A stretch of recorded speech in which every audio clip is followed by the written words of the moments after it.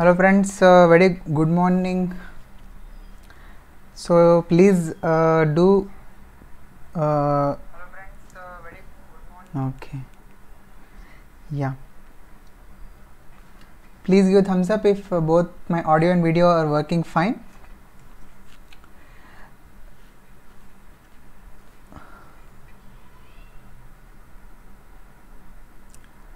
so those who are watching please uh, give a thumbs up and also uh, write in the comment section if uh, i'm uh, both visible and audible. So in this particular session we are going to see the most important uh, topic. Yes uh, good afternoon good morning. Okay dr sony so i hope i am both audible and visible so in this uh, particular session we are going to discuss dermatitis and eczema mainly from fmg point of view. That is the questions and uh, which, whichever were asked in the previous sessions of fmg we are going to discuss these details. So this is myself uh, dr maddineni srinivas your dermatology educator on An unacademy platform.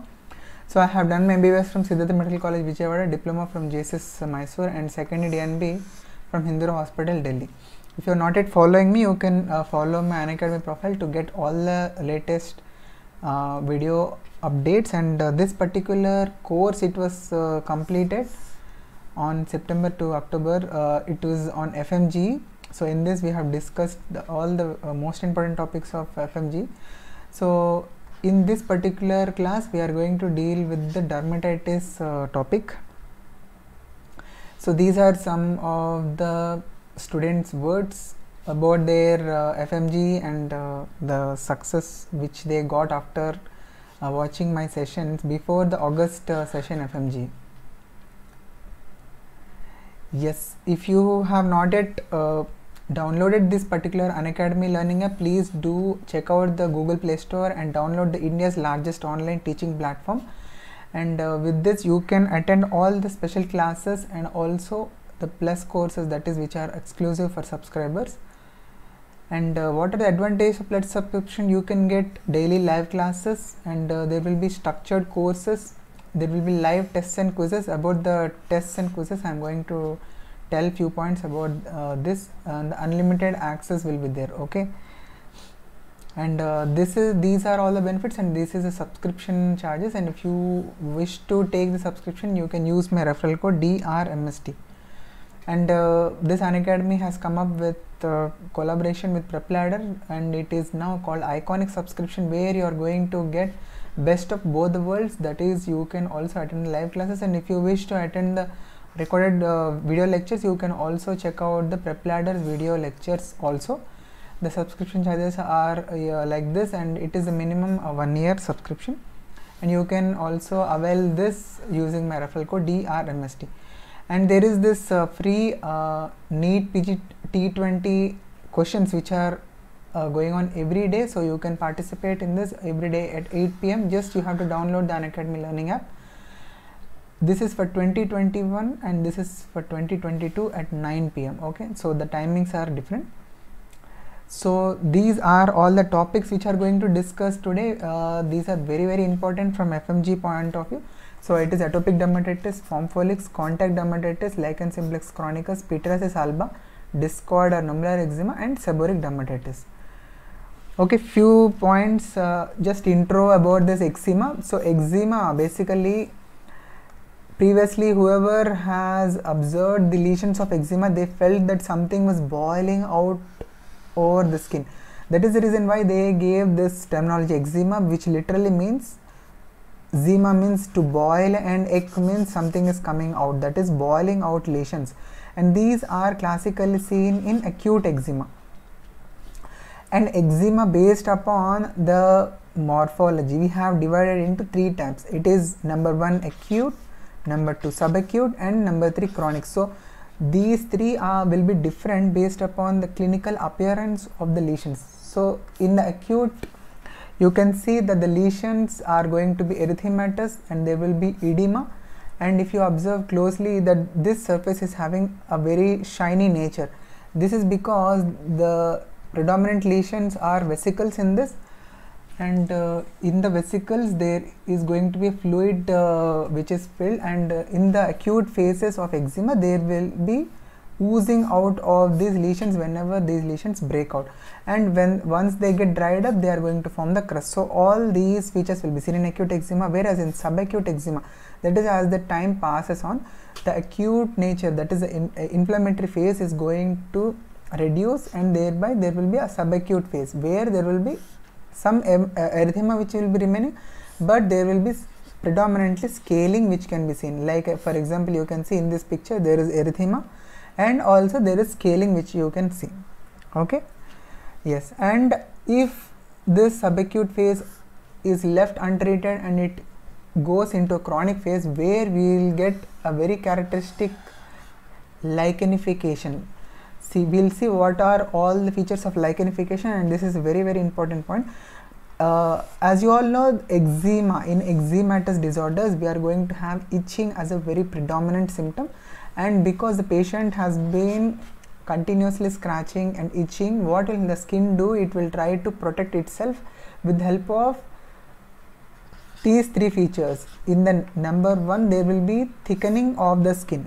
Okay because of this whenever you touch this skin if you examine this skin and this skin by touching it by palpating it this normal looking skin will be uh, as usual it will be soft. Whereas this particular lesional skin it is going to be extremely thickened. This is one characteristic and there will be of course visibly skin pigmentation is increased. So when compared to this normal skin this lesional skin it is hyper pigmented and also you can observe that the normal skin is not having much of markings skin markings. But here you can see there are exaggerated skin markings so these lines are called as skin markings and these are all exaggerated in the case of this chronic phase of eczema where all these three features they are put together and called as lichenification okay? And it is you can use it synonymous to chronic eczema okay so coming to the histopathological correlation so in the acute phases of eczema if you do a biopsy then what will you see? There will be yes if you are thinking that it's spongiosis you are right spongiosis is going to be the predominant characteristic of the histopathology. Uh, if we do a biopsy on an acute eczematous skin lesion okay what does the spongiosis mean? There will be water in the epidermis in between the cells. So what is what does this mean? I will show you so this particular histopathological picture it is taken from a normal skin. Okay this is a normal skin where you are able to see this entire thickness is the epidermis. This entire thickness whichever i am focusing this is all epidermis. And here, you are able to see these cells are very very compactly arranged without any white spaces here. But here if you see this this histopathology it is of acute eczema. And here you are able to see in between these keratinocytes there are this whitish whitish areas which you are able to see. These are nothing but these are fluid filled spaces. These are fluid filled spaces and please remember the fluid is going to pre be present intercellularly but not intracellularly okay this is also entire thickness of epidermis so the fluid is going to be collected intraepidermally and intercellularly. That these two characteristics they are put together called as spongiosis on histopathology of the skin. And in the case of chronic eczema what will be the predominant histopathology picture? It will be mainly stratum spinosum thickening. It is also called as acanthosis okay? So these will be the feature these were all uh, mcqs which were asked in the nat board based examination. So you should be sure about these features. And eczema not only is divided based upon its morphology but also based upon its etiology we have divided into two types two broad categories. They are exogenous and endogenous types of eczema. In exogenous so as the name itself suggests something from the external environment is going to provoke or invoke the eczematous changes so the examples for these exogenous are ex contact phyto and photodermatitis whereas in the endogenous the uh, person will be genetically predisposed to develop these eczematous uh, lesions So among them, the important ones to be remembered are seborrheic dermatitis, pityriasis alba, astatotic eczema. Okay, not only this, there are even others uh, like uh, uh, and atopic dermatitis. But please remember these pompholyx and atopic dermatitis. It was observed in the recent times that not only just endogenous, these are also having some exogenous factors which are provoking so that is the reason why these two are combinedly put together in the group where both endogenous and exogenous factors play a role in the development of eczema so now i just want all of you to answer this question so this uh, uh, this was a previous fmg question. So please try to answer. Hertoghe's sign is seen in. So i want all of you to attempt these questions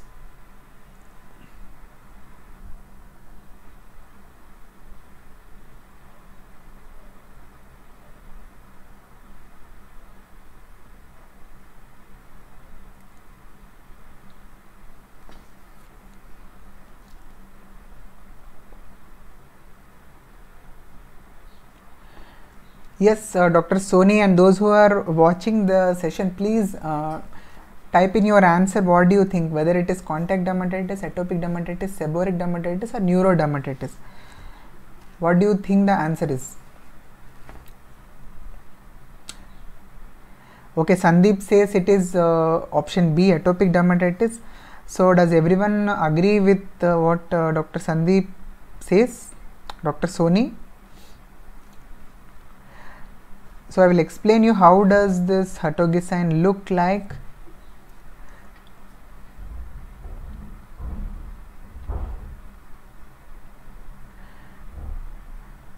So okay yes dr sandeep you are absolutely right. Hertoghe sign is seen in atopic dermatitis.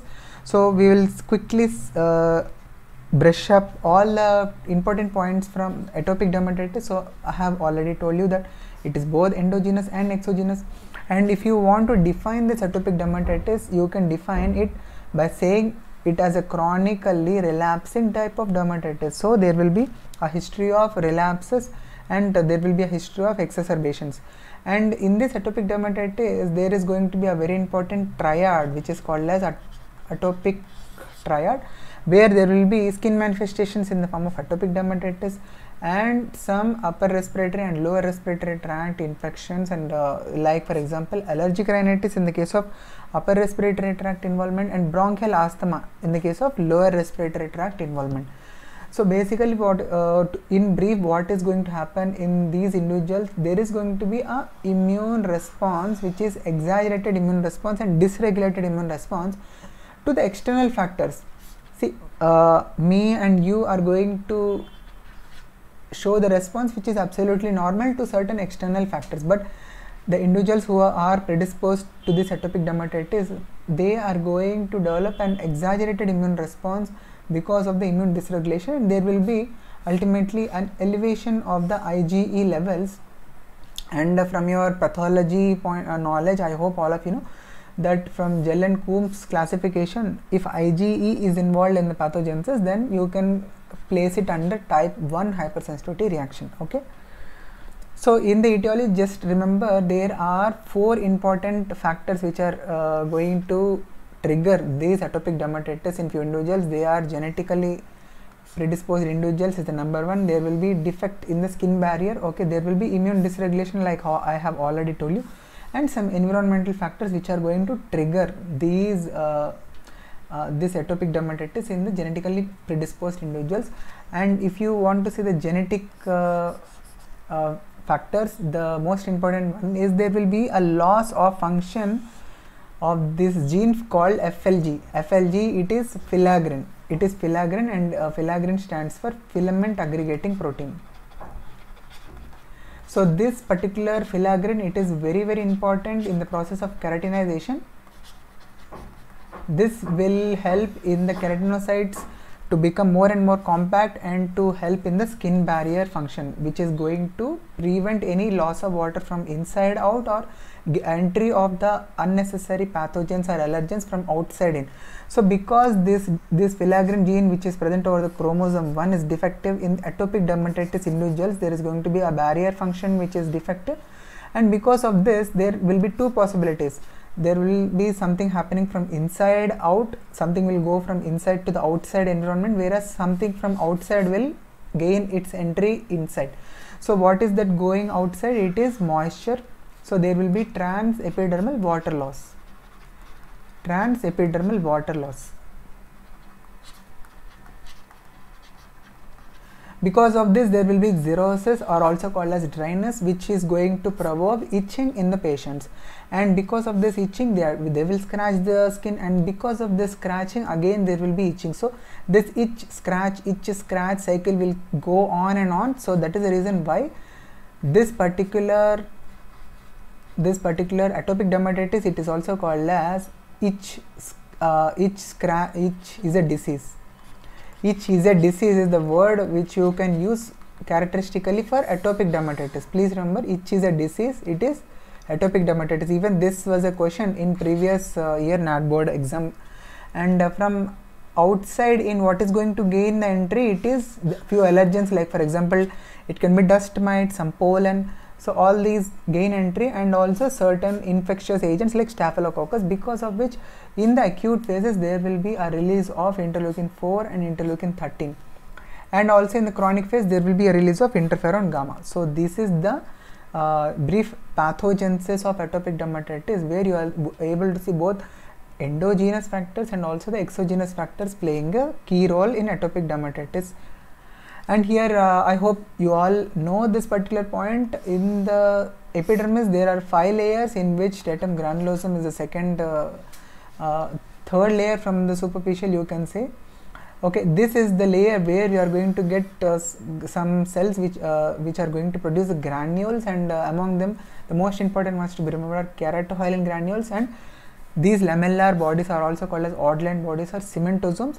And our class today that is on atopic dermatitis there is going to be a keratohyalin granule defect where filaggrin is going to be produced in lesser amounts because of which atopic dermatitis is the manifestation and if at all there is a excessive filaggrin then we are going to get IV. What is IV? It's not intravenous, it is ichthyosis vulgaris.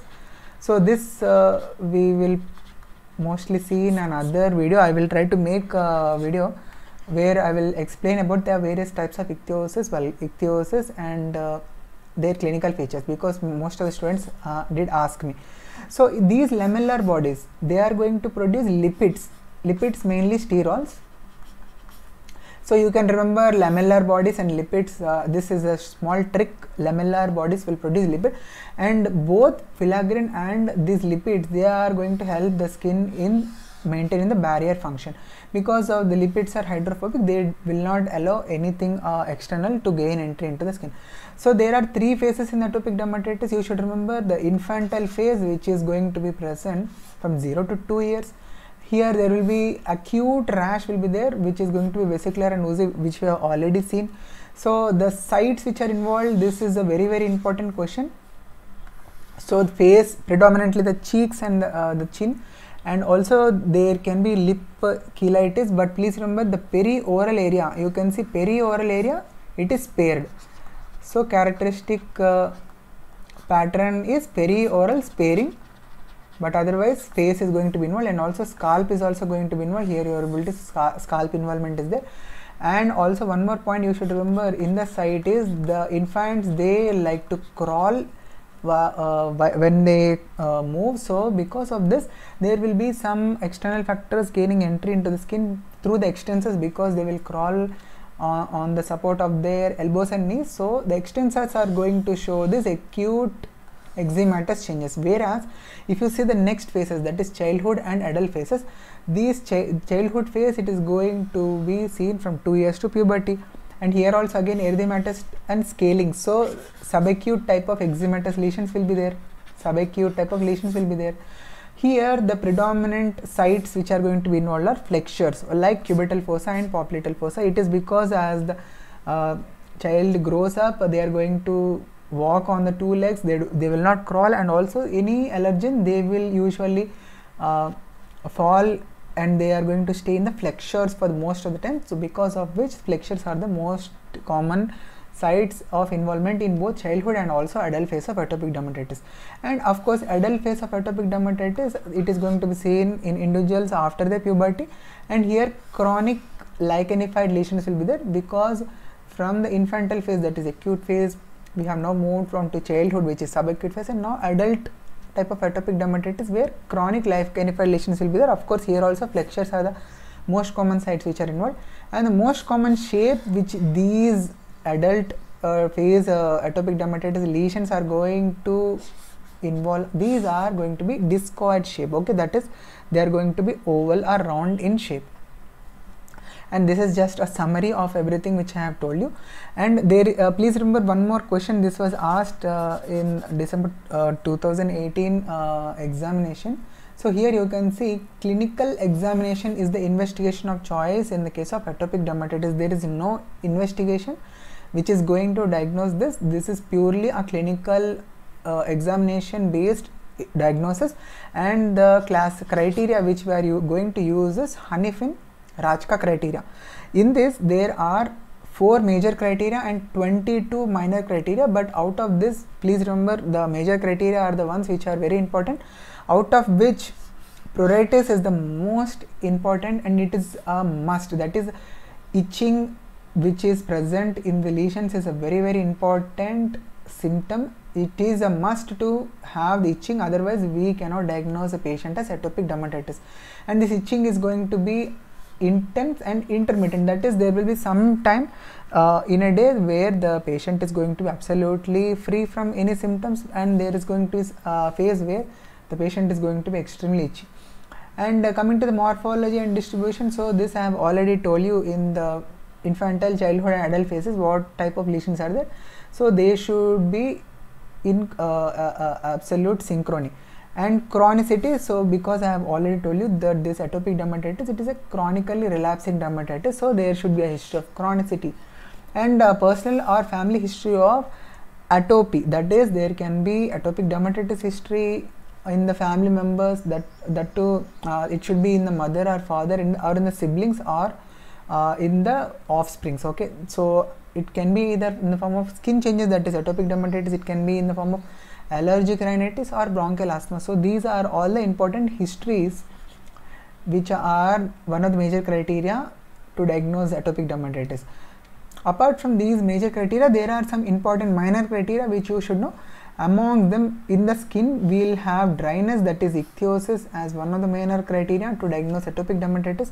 There will be wide dermatographism that is here you are able to see if you take a blunt object and stroke the skin of atopic dermatitis individuals so usually uh, we what we will see is a uh, triple uh, response of Lewis will be seen where there will be erythema in normal individuals. But in these uh, patients of atopic dermatitis because of intense vasoconstriction because of intense vasoconstriction there is going to be a white dermatographism. So dermatographism literally stands for graphism is writing and dermo means skin. So writing over the skin is called dermographism and in atopic dermatitis we are going to see why dermatographism because of intense vasoconstriction. And we will also get to see pityriasis alba. This i will explain in the later slides. So there will also be keratosis pilaris that is these uh, skin colored follicle oriented uh, skin colored to erythematous follicle oriented papules which are usually seen over the lateral parts of the arms uh, upper back and also over the thighs. Okay so these are also one of the minor criteria in atopic dermatitis. There will be eczematous changes of the nipple. There will be hyperlinearity of the palms. So normally dermatoglyphics are there over the palms but in these atopic dermatitis individuals these dermatoglyphics are going to be exaggerated. They are called as palmar hyperlinearity. And in the eyes there are going to be some changes like for example in this kid you are able to see this additional fold which is present infraorbitally these are called Dennie Morgan's fold. And this was also previous FMG question. So please remember Dennie Morgan's fold are also seen in atopic dermatitis. And in the lens you can say there will be anterior or shield subcapsular cataract. So this is the lens which is showing opacification the, uh, that too anteriorly. And uh, there will be cornea which is going to become conical in shape. It is called keratoconus. So these are all the eye changes. And we have already seen keratosis pilaris will be there where there will be follicle the hair follicle oriented papules so if we look uh, with the help of a diascope or if we look from the, uh, the, lesion from the sideways then what will happen? We can see these tiny tiny uh, for, uh, spring like follicles which are present over the skin with surrounding papules so these these are given a name called antenna sign. Why? Because when you are looking from the sideways tangentially these appear just like the antennas which used we used to use in the olden era where cable and all this uh, dish uh, were not available. Okay? So these uh, this is called antenna sign. It is also seen in atopic dermatitis. And i have already told you that uh, there will be a lip cheilitis also in this atopic dermatitis individual. So there will be erythema which is go, uh, which can be seen over the lip and also there is erythema over here over the cheeks and also over the this part. So uh, uh, here you are getting um, a central erythema and also a peripheral erythema. So this was likened and this was compared to the headlights which we see in motor vehicles that is the reason why we uh, say that headlight sign is positive in atopic dermatitis and uh, you can see this is going to be the picture which you will observe in a, a child who is has who is having atopic dermatitis. This is how the lesions are going to appear. So you can see there is erythema there is also some crusting and if you look closer there can be also oozing which can be appreciated. Okay uh, yes this was the question which uh, was asked in fmg sessions. So Hertoghe's sign what does this mean? This means it's also called madarosis there will be loss of lateral one third of the eyebrows okay? So this is called as Hertoghe it is also called as queen anne's so they can ask you Hertoghe queen anne's or madarosis is present in okay? Uh, this Hertoghe is the name which is uh, given only to the atopic dermatitis. Whereas uh, if madarosis was asked in the question then you can say even in leprosy and myxedema which is a hypothyroidism. In all these also madarosis that is loss of lateral one third of the eyebrows can be seen. And now please I want all of you to answer this question. True about Pompholyx are all except. So what do you feel is the false statement out of these four options? So please attempt this question and uh, write, uh, type in your uh, answer in the comment section.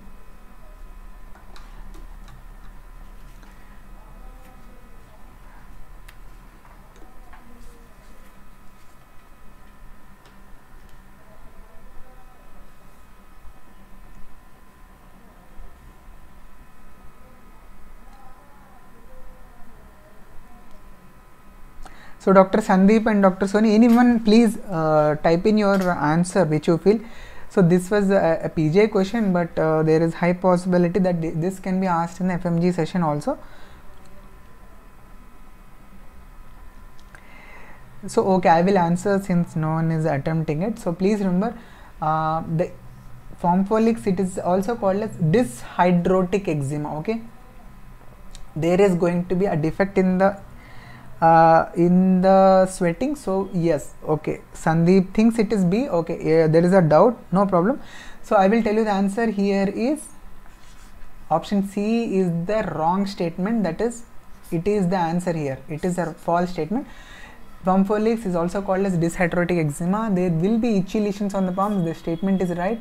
And in the treatment we are going to use potent topical steroids this statement is also right and there will be painful deep seated vesicles so both itching and pain uh, will be there. So Pompholyx it's also called dyshydrotic eczema and it is not anhydrosis but dyshydrosis which is associated with Pompholyx where clinically we will see tense deep seated vesicles over the palms and over the sides of the fingers. So palms and sides of the fingers that predominantly and also of course soles can also show show the lesions okay and predominantly in the question there will be mention of history of recurrence of these lesions. There will be recurrent uh, lesions and also these lesions they are described as sago grain so why are they described as sago grain if you observe these lesions from uh, closer view you can see that the lesions are very shiny and uh, i hope all of you know these sabudana. Sabudana if you make a sweet so like how the this sabudana sweet will appear sabudana kheer so similar type of appearance is there for these lesions so that is the reason why we call sago grain like appearance is seen in the case of follics. okay so eczema is divided uh, into exogenous and endo endogenous and uh, we, i have already uh, told you this. So now we will see few points about these exogenous types of eczemas uh, that mainly contact dermatitis. This contact dermatitis there is going to be again division of two broad varieties.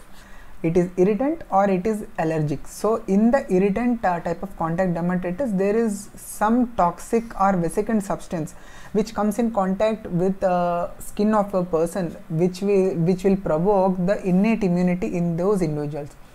And uh, uh, please remember there are few points which are important to, to be remembered. These contact dermatitis they are basically a reaction pattern of the skin to some substances. So some external fact some substances they are going to pro uh, provoke this irritant contact dermatitis or allergic contact dermatitis so, what is the difference uh, between these two? Is that in irritant type all the individuals whoever is exposed to these substances these are very toxic substances these are vesicant substances. So whoever gets in contact with these substances is going to get the lesions over the site of the contact okay? And uh, you can say it is basically a non-immune phenomenon when compared to the allergic contact dermatitis but uh, in few books it is mentioned that yes innate immunity is the one which is responsible to provoke this irritant contact dermatitis. Whereas if you see the allergic contact dermatitis it is characteristic because it uh, the substances which can cause allergic contact dermatitis will provoke only the lesions in few selected genetically predisposed individuals but not everyone. Okay and also one more point which is important to remember is in irritant contact dermatitis when the substance falls on uh, skin of a person there will be lesions on the first exposure. Whereas in allergic contact dermatitis the first exposure is only a sensitization. Okay first exposure will not cause any types of lesions. It is the second exposure that is re-exposure after which there will be skin lesions which will be visibly seen. And this is an example for delayed type of hypersensitivity reaction that is the reason why it is called allergic contact dermatitis is kept under type 4 hypersensitivity reaction. And uh, just briefly about this pathogenesis. So there will be this is allergic contact dermatitis uh, etiopathogenesis. So some allergen will be acting as a hapten. So that is it is not a complete uh, allergen. So it needs some skin protein with the help of which if when it combines and it is taken up by the antigen presenting cells that is Langerhans cells which are present in the stratum spinosum. So this is also important question, question. stratum spinosum has Langerhans cells. So these Langerhans cells will carry these allergens into the lymphocytes and they are going to be sens get sensitized and produce memory T cells. And if there is a second or re-exposure, these memory T cells, they are going to produce cytokines. They are going to produce the cytokines because of which there will be injury or inflammation and there will be ultimately allergic contact dermatitis which is uh, seen clinically. Uh, so the, there are some substances which are going to provoke irritant and allergic contact dermatitis. So in the irritant, I want all of you to remember detergents as the most common cause for irritant contact dermatitis and it is so commonly used by housewives so it is given another name called housewives dermatitis. Otherwise uh, uh, examples for irritant contact dermatitis are diaper dermatitis and certain strong irritants like acid and alkali uh, exposure also can lead to irritant contact dermatitis. And in the allergic contact dermatitis the most common metallic cause is nickel. So please remember this point. And overall the most common cause for allergic contact dermatitis is vegetables okay? Can you believe it? So you can say that both irritant as well as allergic contact dermatitis they are common in women. Because detergents are going to be handled by women and also most commonly at least pre corona era uh, vegetables uh, used to be commonly handled by women. So you can say that both irritant and allergic contact dermatitis are commonly seen in women. And uh, apart from this few examples. These are also asked uh, previous years. So bindi dermatitis. It is an example for allergic contact dermatitis. The substance which is responsible is para tertiary butyl phenol. So the adhesive which is present in the bindi is going to uh, provoke the allergy contact dermatitis. So para tertiary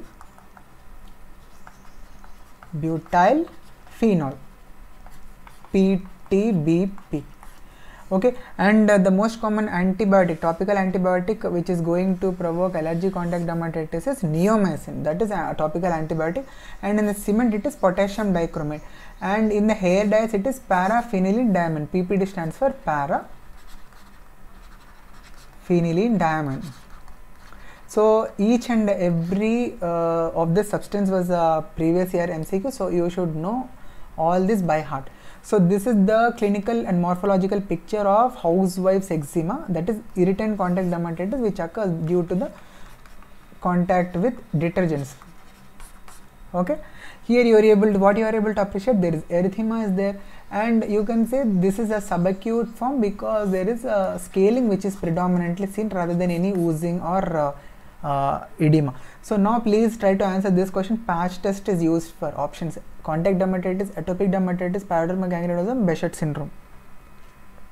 So please uh, friends everyone attempt the question. So uh, they all the students who are watching please uh, do answer in the comment section.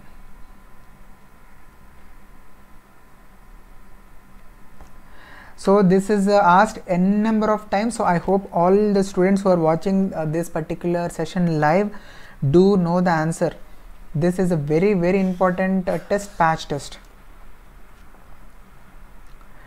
Okay very good sandeep and sony so i take your answer. I think all of the other students also do agree.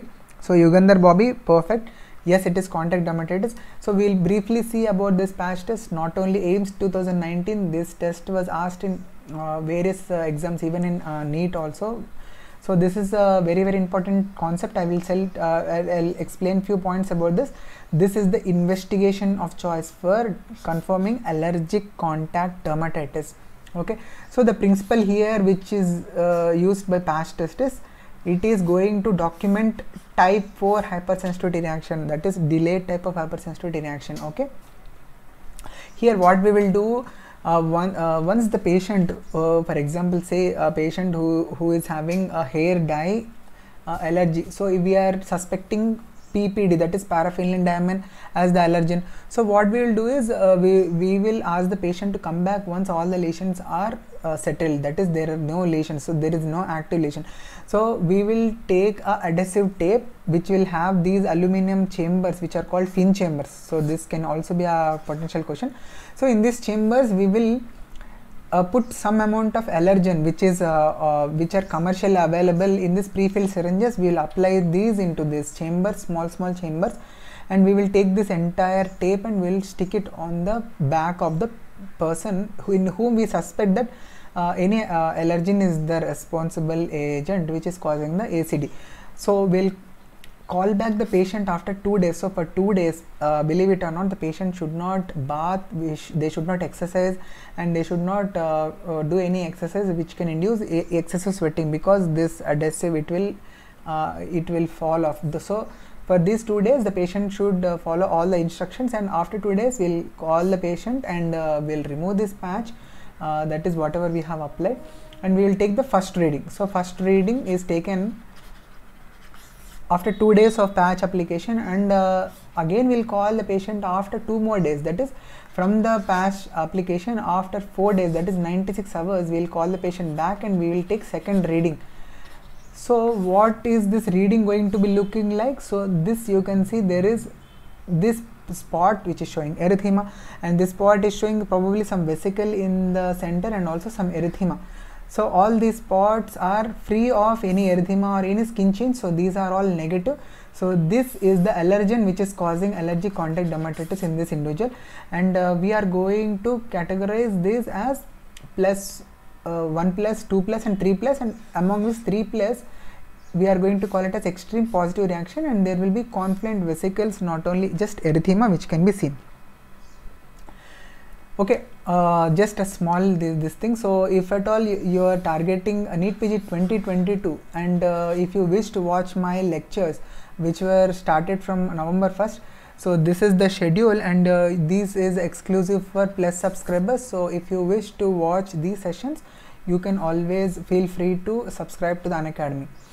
So yes, this is the endogenous uh, uh, which we are going to discuss now. We have completed those which are exogenous and endogenous.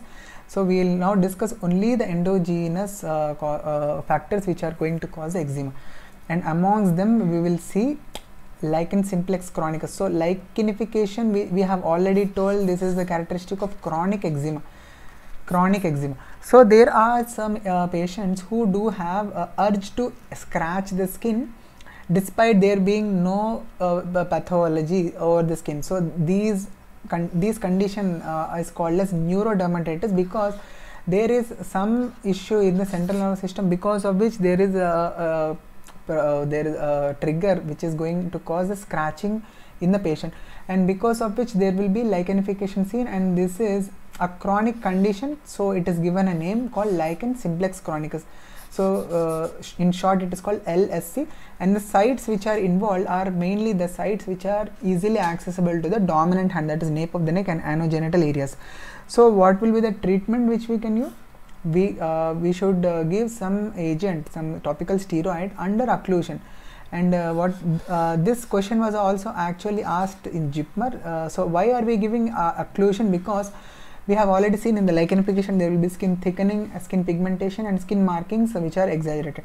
So as the skin is thickened, whatever cream or ointment which we apply will not go into the skin very easily. So to increase the permeability of the substance which we are uh, trying to uh, get gets inside the skin, uh, with the hydration we can increase the chances. So with the occlusion if we give any topical agent it is going to increase hydration and thereby increase chances of absorption.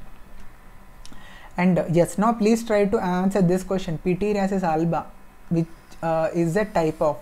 So this while I was talking about Hanifin-Rajka criteria, I have told you that this is, was one of the criteria.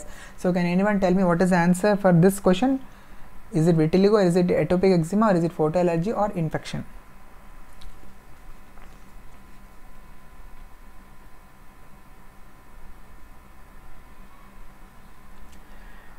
Yes, uh, Babu Chandran says B. Very good. So Sadika says it is C. Okay. So not not problem. It is answer is here atopic eczema. So very good, Babu. So no problem, uh, Sadika. I will tell you what is this P alba. It is uh, I have already told you in Hanifin Rajka criteria. This was one of the minor criteria to diagnose atopic dermatitis. So it is a, a, a example for atopic eczema. Uh, the most important differential for this pityriasis alba. So the clinically the pityriasis alba is going to present usually in children with multiple hypopigmented lesions over the face. So this will be the clinical picture.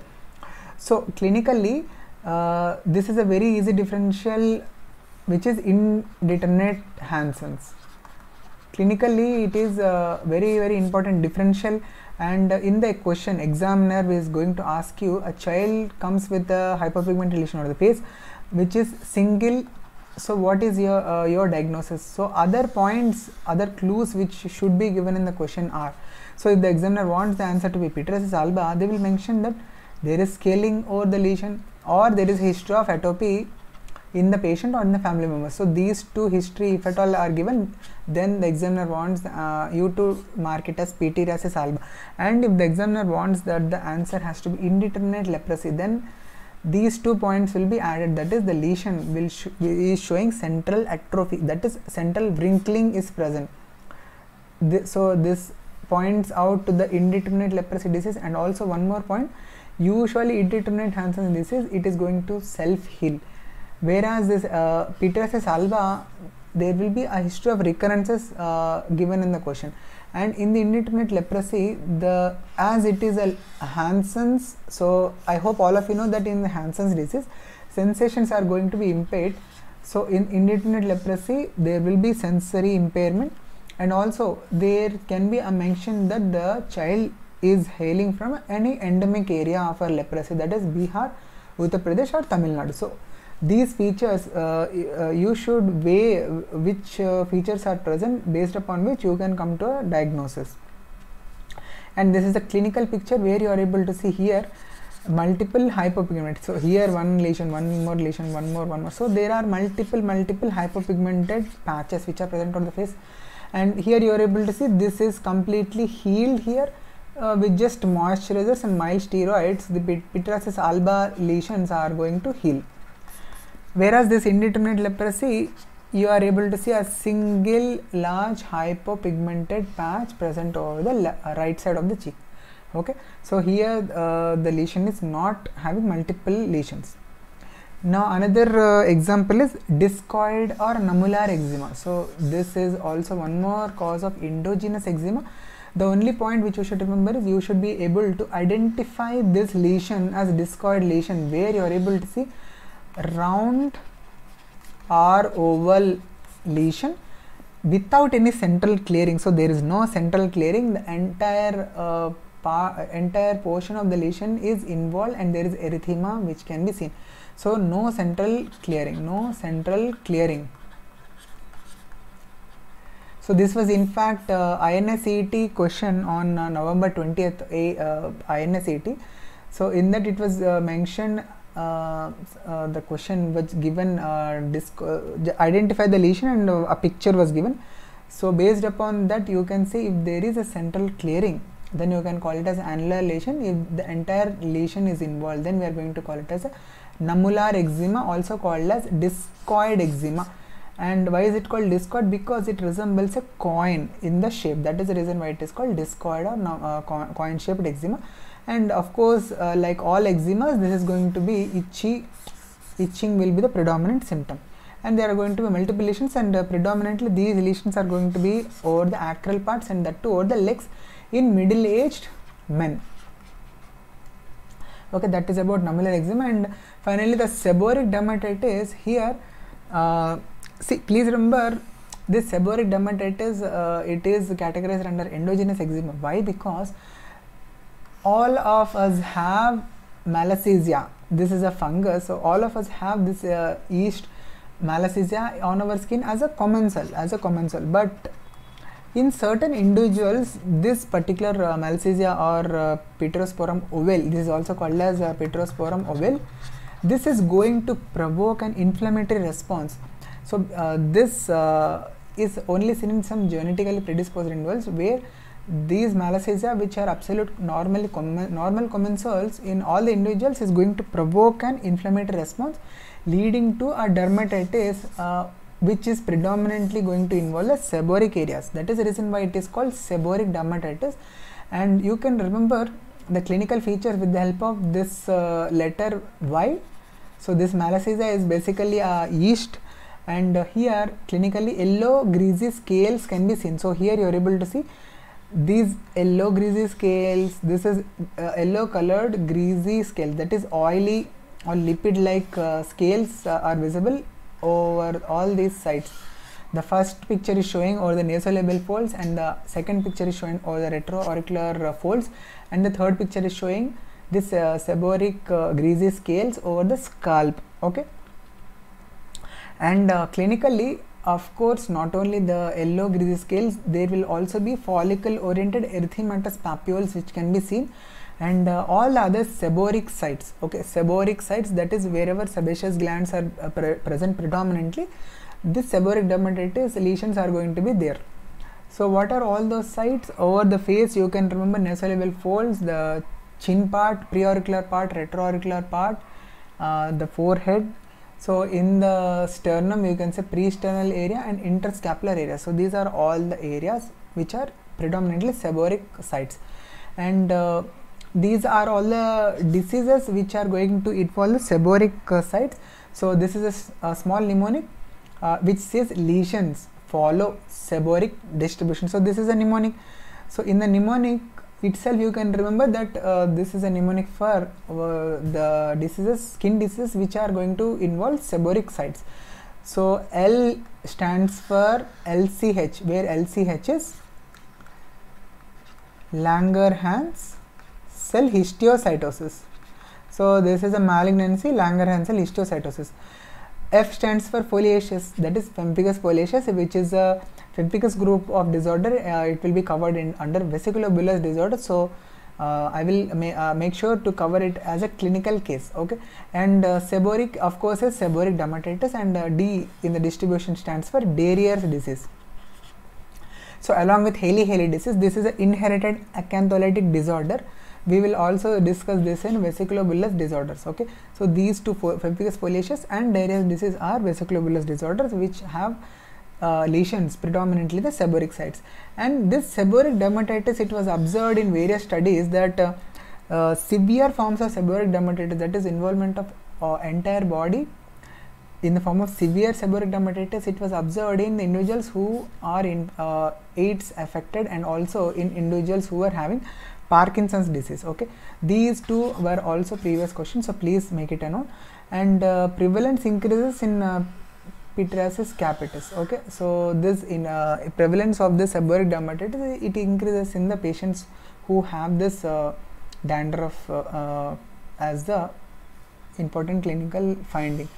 And we have already seen that scalp was also showing seborrheic changes so in the infants this seborrheic dermatitis is given a specific name this was also a previous fmg question it's called cradle cap dermatitis uh, where you are able to see these yellow looking greasy scales with surrounding erythema over the scalp. This is usually manifested in infants that too in the first three months and it is uh, characteristically called with a specific name called cradle cap dermatitis. Cradle is the uh, uh, is the oil uh, which we use uh, to keep the kids and cap is something uh, is happening over the scalp. So the lesions are present uh, over the scalp predominantly. So it is called cradle cap dermatitis.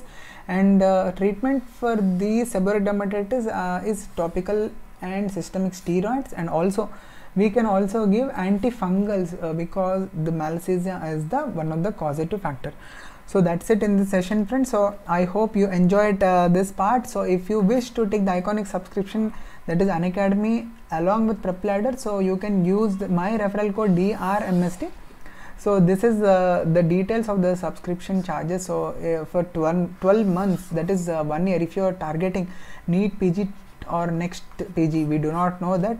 2022 then you can take up this and you can thoroughly enjoy all the lectures of both Unacademy as well as prep ladder.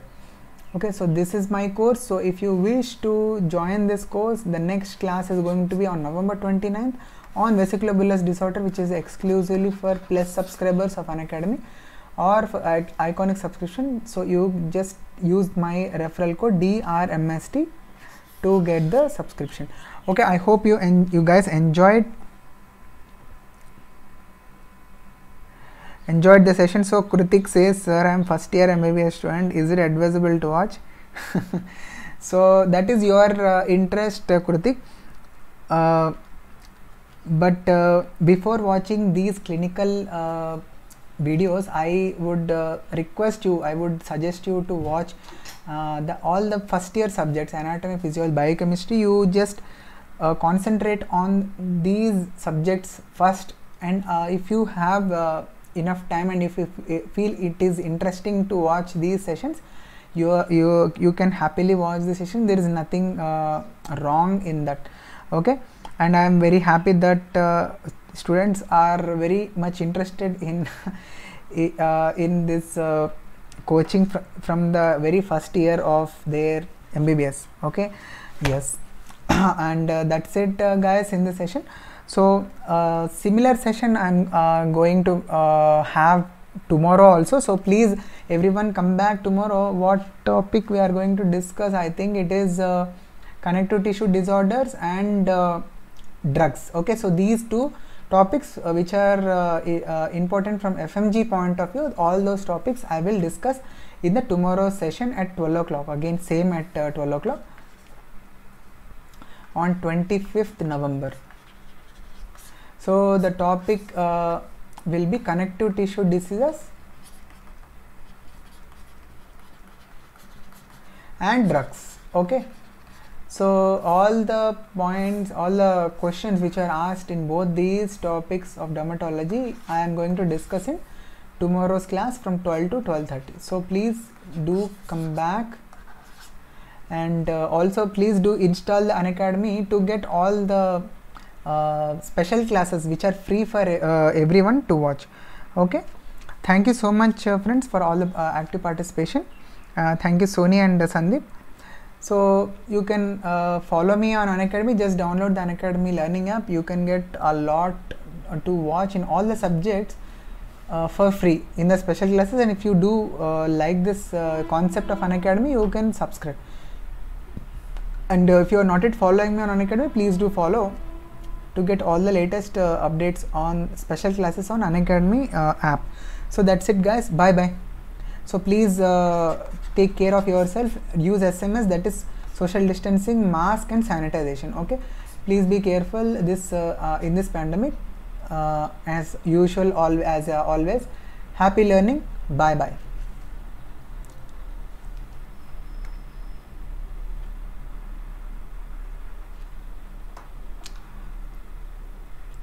Mm-hmm.